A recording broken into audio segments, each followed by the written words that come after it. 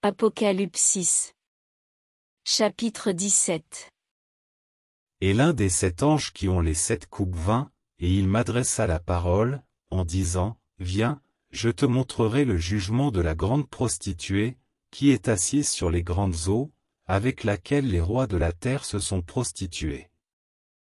Et ceux qui habitent sur la terre ont été enivrés du vin de sa relation sexuelle illicite.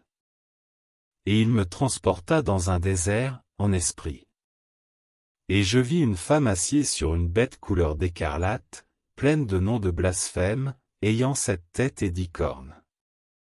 Et la femme était vêtue de pourpre et d'écarlate et parée d'or, de pierres précieuses et de perles, ayant dans sa main une coupe d'or pleine d'abominations et des impuretés de sa relation sexuelle illicite. Et sur son front, un nom écrit, Mystère, Babel la Grande, la mère des prostituées et des abominations de la terre. Et je vis cette femme ivre du sang des saints et du sang des témoins de Yehoshua.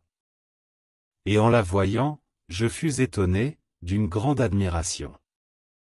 Et l'ange me dit, pourquoi es-tu dans l'admiration? Je te dirai, moi, le mystère de la femme et de la bête qui la porte, qui a les sept têtes et les dix cornes.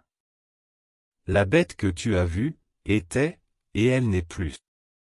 Elle doit monter de l'abîme et aller à la destruction. Et ceux qui habitent sur la terre, ceux dont les noms n'ont pas été écrits dans le livre de vie depuis la fondation du monde, seront dans l'admiration en voyant la bête parce qu'elle était, et qu'elle n'est plus, bien qu'elle soit. Ici, l'intelligence qui a de la sagesse. Les sept têtes sont sept montagnes sur lesquelles la femme est assise. Et elles sont sept rois, les cinq sont tombés, l'un est, et l'autre n'est pas encore venu. Et quand il sera venu, il faut qu'il demeure pour un peu de temps. Et la bête qui était et qui n'est plus, est elle-même un huitième. Elle est aussi du nombre des sept et s'en va à la destruction. Et les dix cornes que tu as vues sont dix rois qui n'ont pas encore reçu le royaume, mais qui reçoivent autorité comme rois pour une heure avec la bête. Ceux-ci ont un même avis, et ils donneront leur puissance et leur autorité à la bête.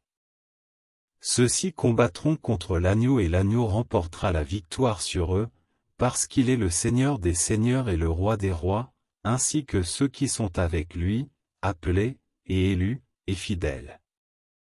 Et il me dit, les eaux que tu as vues, où la prostituée est assise, sont des peuples, et des foules, des nations, et des langues.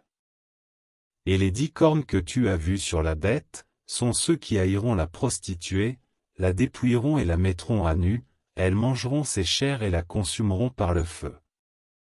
Car Elohim a mis dans leur cœur d'exécuter son avis et d'exécuter un même avis, et de donner leur royaume à la bête, jusqu'à ce que les paroles d'Elohim soient accomplies.